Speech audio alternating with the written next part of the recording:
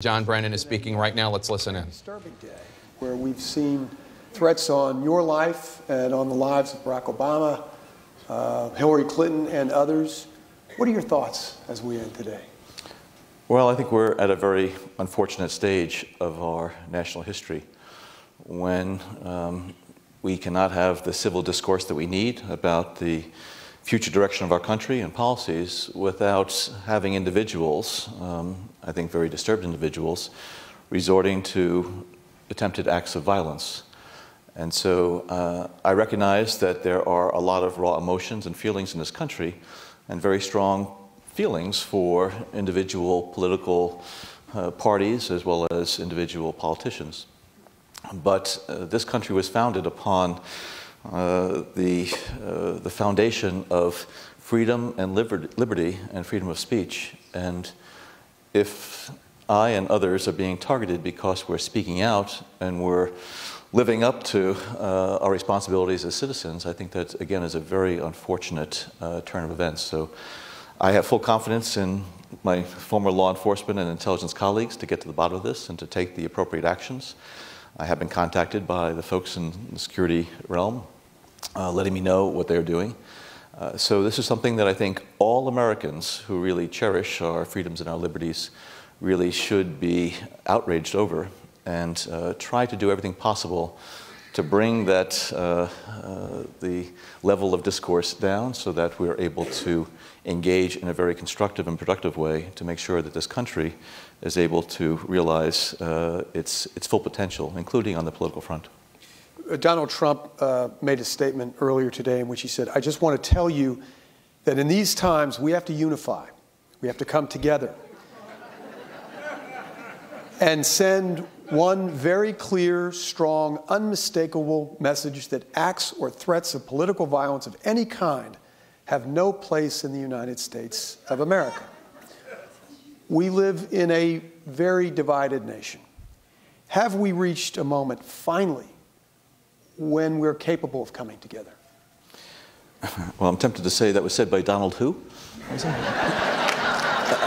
but,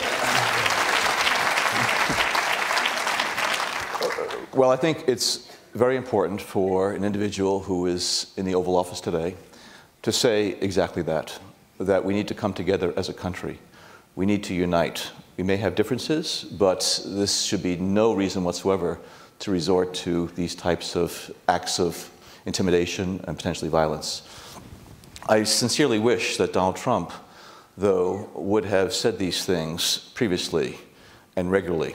I wish that he would have encouraged people from all different backgrounds and political affiliations to come together and to try to resolve differences in a very um, positive manner.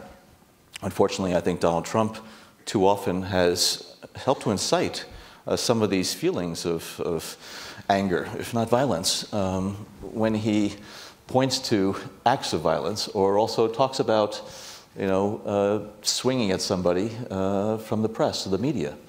Uh, that's why I have spoken out so strongly, some would say very stridently, because of what I think is a continued failure on the part of Donald Trump to live up to what I think should be all of our expectations about what an American president should be doing, especially in times like this.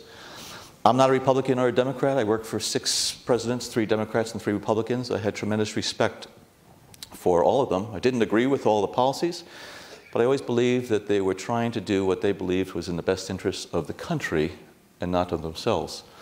And also, I felt that at particular times when maybe tensions within this country were, were strong or emotions were strong, they were unifiers. I remember very vividly how President George W. Bush, in the aftermath of 9 11, uh, was helping to rally this country so that we all stick together in the face of this foreign adversary who caused such great havoc, destruction, and, and carnage, uh, the 9 11 attacks. So, uh, unfortunately, I think you know, Donald Trump has not helped to um, um, encourage the type of civil discourse and uh, engage, public engagement. And his rhetoric, uh, too frequently, I think, fuels these uh, feelings and sentiments that uh, now are bleeding over into potentially acts of violence. So I'm, I'm hoping that this is going to make it clear to him that what he has done heretofore, as far as a lot of this rhetoric, really is counterproductive. It is un American.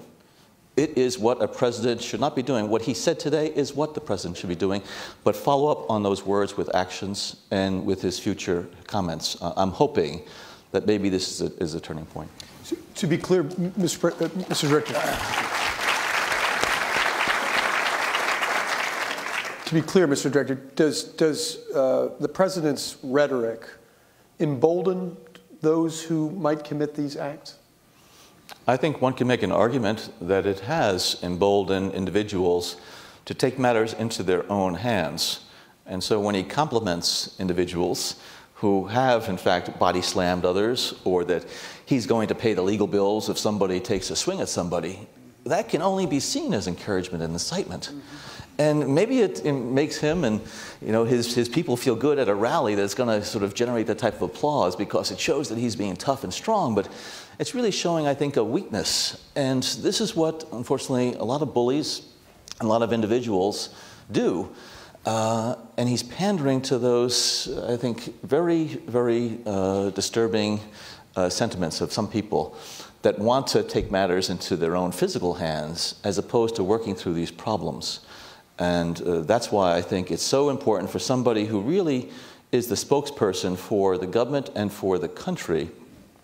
He has to realize that every single day, whether he realizes or not, he's a role model. Not just a role model for these individuals who might be engaged in this, but role model for the next generation of Americans. That's why I spent the entire day talking to a lot of students here at UT. I believe very strongly that the next generation of Americans should really cherish all the freedoms and liberties that we enjoy in this country and try to give back to this wonderful country of ours, either through public service or the, the good works that they do with their community. Or, and so, uh, again, I, I really have some serious, serious concerns and uh, objections to what Mr. Trump has done uh, while he is serving in that very, very special and uh, esteemed office of the presidency. He needs to rethink what he is doing and saying. He should not be beating the, the tom toms of, of anger and animosity and war.